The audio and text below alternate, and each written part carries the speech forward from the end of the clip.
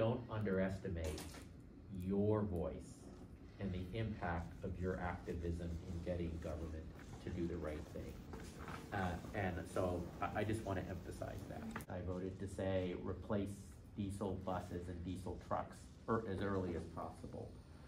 And, um, but the, the other thing is, um, there are communities like ours that are more impacted than many other communities. If you think about it, right, we are the, we're paying the health the health cost of supplying fuel to the state. My my future is on the line. My kids' Right. futures, my nephew's futures, y'all's futures are on the line. My nephew is two years old. He will never know an, a, a gas car.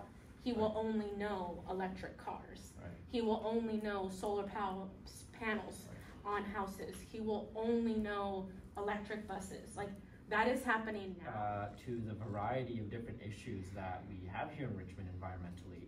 Um, you know, one of the things that you that you spoke about was uh, the issue of shoreline contamination. One of uh, uh, part of the work that I do is working with the Richmond Shoreline Alliance on trying to um, uh, kind of mobilize folks who live in Crescent Park uh, around the cleanup of a toxic waste site. We are seeing, fortunately, I think, both in government and in community, um, a greater recognition to give voices to environmental justice communities and to have that be a larger, of to incorporate that into the decision making. It has not come without struggle, um, but um, it is a shift that is happening because of, I think, the strong local environmental justice leadership.